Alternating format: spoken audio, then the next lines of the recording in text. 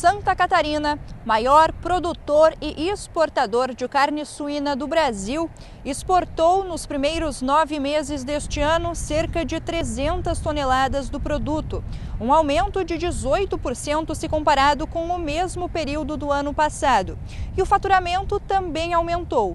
Foram 602 milhões de reais a mais do que em 2018, uma alta de 29%.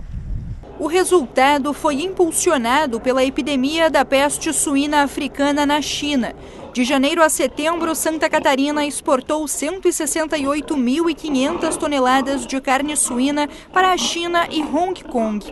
E o faturamento superou 342 milhões de dólares, 38% a mais do que em 2018.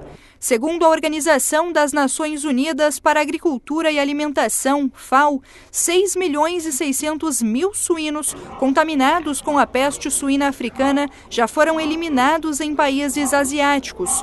Houve aumento de 414 mil porcos eliminados em relação ao último levantamento, feito há 15 dias. 61 novos focos da doença foram detectados no continente asiático.